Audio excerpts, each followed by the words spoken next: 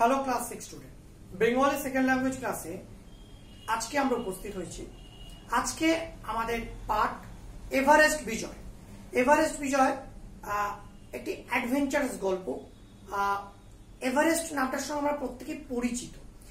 Everest এই নামটা নিয়ে অনেক মিথ আছে, অনেক রহস্য আছে, অনেক রোমাঞ্চ আছে এবং সর্বোপরি এই এভারেস্টটার সাথে একটা পর্বতারোহী মানুষ যারা তথাকথিতভাবে অ্যাডভেঞ্চারটাকে ভালোবাসে, যারা তথাকথিতভাবে অ্যাডভেঞ্চারটাকে নিজেদের একটা প্যাশন মনে করে, তাদের সঙ্গে এভারেস্ট নামটা কিন্তু খুব ঐকান্তিকভাবে যুক্ত। এবং এই এভারেস্ট বিজয় সেই এভারেস্ট নামটার সাথে যেমন একটা রোমাঞ্চ রয়েছে, সেই এভারেস্টে যাওয়ার যে হাতছানি, সেটা সাধারণত যারা পর্বতারোহী যারা পর্বত অভিযানে যান পর্বতাভিযানে যান, তাদের কাছে একটা খুব মানে একটা আলাদা একটা আলাদা জায়গা, আলাদা একটা ফিলিংস যেটাকে বলা যেতে পারে। আলাদা একটা মানে অন্যরকম অনুভূতি। তো সেই গল্পটাই আজকে আমাদের পাঠ্য। গল্পের লেখক আহ, নৃপেন্দ্র কৃষ্ণ চট্টোপাধ্যায়। নৃপেন্দ্র কৃষ্ণ চট্টোপাধ্যায় সম্পর্কে আগে আমরা একটু আলোচনা করে নিই একটু আলোকপাত করে নিই। নৃপেন্দ্রকৃষ্ণ চট্টোপাধ্যায়ের জন্ম উনিশশো পাঁচ সালের পনেরোই জানুয়ারি দক্ষিণ চব্বিশ পরগনা জেলার ফুটিগোদা গ্রামে। তিনি বিশিষ্ট শিশু সাহিত্যিক প্রবন্ধকার হিসেবে খ্যাতি লাভ করেছেন। বিশেষ করে তিনি অনুবাদ সাহিত্য বিশেষ করে তিনি অনুবাদ সাহিত্যে তার একটা অবদান আছে যথেষ্ট অবদান। তিনি বিভিন্ন গল্প উপন্যাস বিজ্ঞান প্রভৃতি বিষয়ে তার বিভিন্ন বহু পারদর্শিতা। এছাড়াও তিনি অনুবাদক হিসেবেও তার একটি খ্যাতি রয়েছে। আমি আগেই বললাম, তিনি অনুবাদক হিসেবে বিশিষ্ট খ্যাতি সম্মানের অধিকারী। তিনি অনুবাদক লেখক হিসেবে অনুবাদক করতে, করার ক্ষেত্রে তিনি সেই ক্ষেত্র থেকে সেই অনুবাদক হিসেবে তিনি যথেষ্ট সম্মানিত। এছাড়া তার লেখা কিছু গল্প যেমন রানী রাসমণি দাদা ঠাকুর, দুই ভাই, সাত পাকে বাঁধা উত্তর ফাল্গুনি প্রভৃতি চলচ্চিত্রের চিত্রনাট্যও তিনি রচনা করেছেন। তিনি আকাশবাণীতে দীর্ঘদিন গল্প দাদু রূপে অনুষ্ঠান পরিচালনা করেন করেছিলেন। তার তিনি গল্প দাদু হিসেবে, গল্প দাদুর আসর বস্তু আগে আকাশবাণীতে। তার সাথেও তিনি যুক্ত ছিলেন। তিনি আকাশবাণীর একজন বিশিষ্ট ব্যক্তি হিসেবে তিনি পরিচিত আকাশবাণীতে। তার রচিত গ্রন্থগুলো যেমন মজার গল্প, সোনার ভারত শতাব্দীর সূর্য, মহিষী, মহিরা প্রভৃতি। কিশোর চট্টোপাধ্যায়ের গল্পের মধ্যে বরাবরই একটা আলাদা অনুভূতি, আলাদা আবেগ এবং তার মধ্যে দিয়ে তার আবেগ তার গল্পের মধ্যে দিয়ে একটা আলাদা আমরা অনুভূতির একটা জায়গাকে খুঁজে পাই। তিনি সেখানে যেমন শিশু সাহিত্যের ক্ষেত্রে তিনি খুব শিশুদের মনকে বুঝে, তার মনস্তাত্ত্বিক কথাগুলিকে বুঝে তিনি তার গল্প লিখেছেন। এবং তিনি গল্পদাদু আসলে যথেষ্ট খ্যাতি খ্যাতি অর্জন করেছিলেন গল্পদাদুর হিসেবে তিনি বেতার জগতে। তিনি এই আহ, নৃপেন্দ্র চট্টোপাধ্যায় তার লেখার মধ্যে দিয়ে একটা বরাবর একটা আলাদা রকমের একটা বিষয়কে লেখক নৃপেন্দ্র কৃষ্ণ চট্টোপাধ্যায় উনিশশো তেষট্টি সালের চব্বিশে জুলাই তার জীবন অবসান হয়। তার লেখা আজকের এই গল্পটি এভারেস্ট বিজয়। এভারেস্ট বিজয় গল্পটির মধ্যে একটি অভিযানের কাহিনী। এটি পর্বত অভিযানের কাহিনী। আমাদের সামনে ফুটিয়ে তুলেছেন লেখক। লেখকের এই গল্প বা এই গল্পটির মধ্যে দিয়ে লেখক সেই অজানা এভারেস্টকে, অজানা এভারেস্টের কাহিনীকে বা অজানা এভারেস্টের নানা হাতছানিকে আমাদের সামনে গল্পের আকারে তুলে ধরছেন। এবং তার কেন্দ্রীয় যিনি মূল কারিগর যার হাত দিয়ে আমরা এভারেস্টে পৌঁছেছি বা এভারেস্ট সম্পর্কে আমরা মানে জানতে পারি, সেই তেঞ্জিং নরকে এবং অ্যাডমন্ড হিলারি, এদের বাদ দিয়ে এভারেস্ট বিজয়ের কথা ভাবা যায় না। যাদের বীরত্বের কথা, যাদের সেই দূরদর্শিতা, যাদের একটা জেদ, একটা একান্ত একটা টান এভারেস্টের প্রতি। যা তাদেরকে এভারেস্টের শিখরে নিয়ে যেতে পেরেছিল এবং এভারেস্ট বিজয়ের মধ্যে দিয়ে তারা তাদের স্বপ্নকে প্রতিষ্ঠিত করতে পেরেছিল। এবং অ্যাডমন্ড হিলারি এবং তেঞ্জিং নরকে যদি সেদিন এভারেস্টের পথ না দেখাতেন বা সেদিন যদি ওই পথ বেয়ে না যেতেন, তাহলে হয়তো আজও এভারেস্ট আমাদের ধরা ধরাছোঁয়ার বাইরে থাকতো।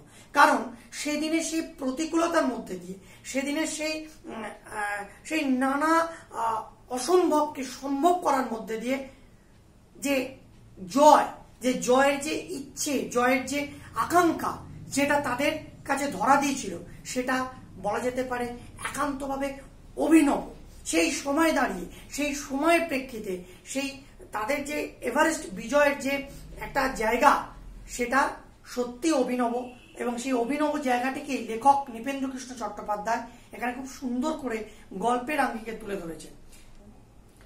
আমরা এই প্রবন্ধটির মধ্যে, অর্থাৎ এই গল্পটির মধ্যে আমরা দেখতে পাচ্ছি কি, যে সেই তেঞ্জিং নরকে এবং তার যে তার যে অভিযান যে অভিযান পৃথিবীর উচ্চতম গিরিসিংহ এভারেস্টের সুদূর অতীত কাল থেকেই মানুষের কাছে যার রহস্য ছিল, যা একটা কৌতূহলের বস্তু ছিল, সেই বস্তুটিকে নিজেদের করায়ত্ত করা, অর্থাৎ হাতের মুঠোয় নিয়ে আসা, যেখানে মানুষের পায়ের চিহ্ন, পদচিহ্ন এঁকে দেওয়াই মূল লক্ষ্য ছিল আমাদের তেঞ্জিং নরকে।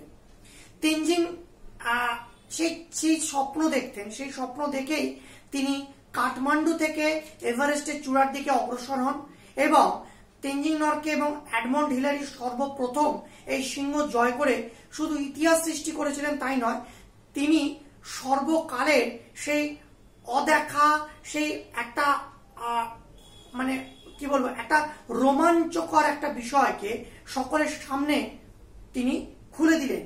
সেই এভারেস্টে যাওয়ার পথ সকলের কাছে খুলে গেল এবং এভারেস্টের বুকে পা রেখে যখন তিনি তার কাছে থাকা ওই সামান্য কিছু খাওয়ার যা দিয়ে তিনি ঈশ্বরের উদ্দেশ্যে তিনি ভগবান বুদ্ধকে স্মরণ করে তার, তাকে সেই খাবারগুলি অর্ঘ্য হিসেবে ইষ্টদেব নিবেদন করেছিল এবং তিনি মনে করেছিলেন যে সত্যি তার জীবনের একটা স্বপ্ন আজকে বাস্তবায়িত হলো। এবং সেই স্বপ্নটা তিনি বহুদিন থেকে দেখেছিলেন। স্বপ্নটা শুধু দেখা নয়, স্বপ্ন আমরা প্রত্যেকেই দেখি। স্বপ্নকে বাস্তবের মাটিতে প্রকৃতভাবে প্রতিষ্ঠিত করাই হচ্ছে প্রকৃতপক্ষে একজন স্বপ্ন দ্রষ্টা যে স্বপ্ন দেখে তার মূল লক্ষ্য হওয়া উচিত। যেমন তেনজিং স্বপ্ন দেখেছিলেন যে এভারেস্ট তিনি বিজয় করবেন বা এভারেস্টে শিখরে পা রাখবেন, যা পৃথিবীর উচ্চতম গিরিসিংহ সেই স্বপ্নকে তিনি বাস্তবায়িত করেছিলেন। তার নিজের একান্ত মানসিক শক্তি, মানসিক বল এবং নিজের অদম্য ইচ্ছা শক্তি দিয়ে। এবং তার সঙ্গী হয়েছিলেন অ্যাডমন্ড হিলারি।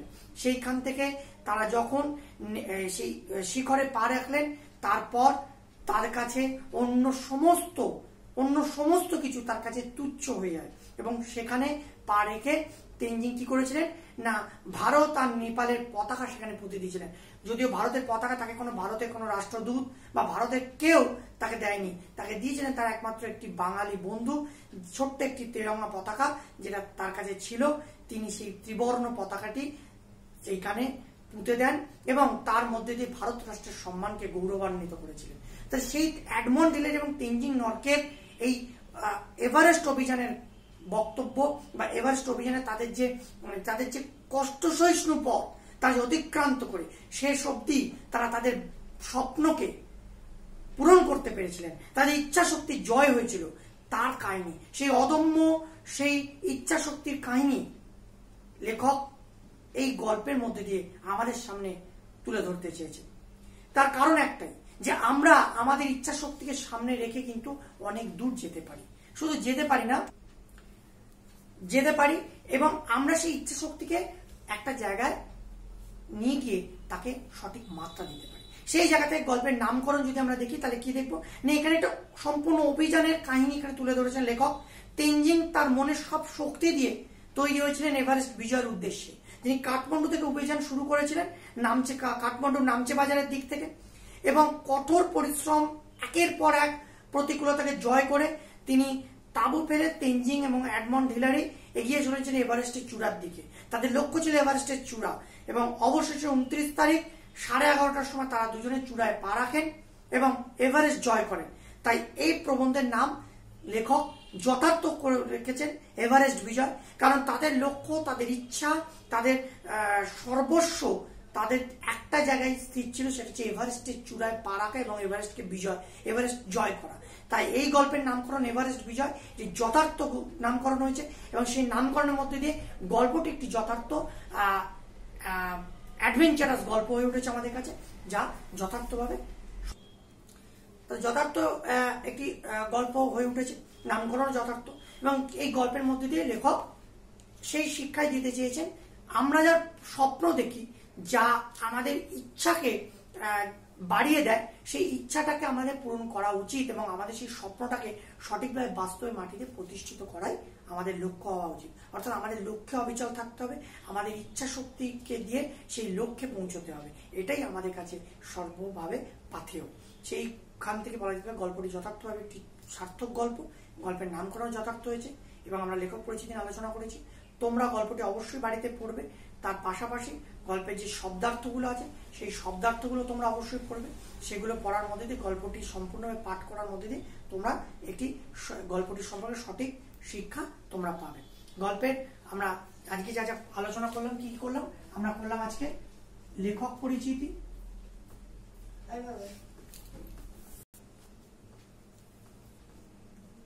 লেখক পরিচিতি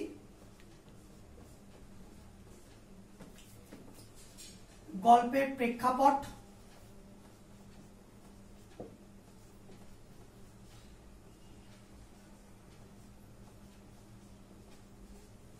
গল্পের প্রেক্ষাপট নামকরণ ও বিষয়বস্তুর আলোচনা।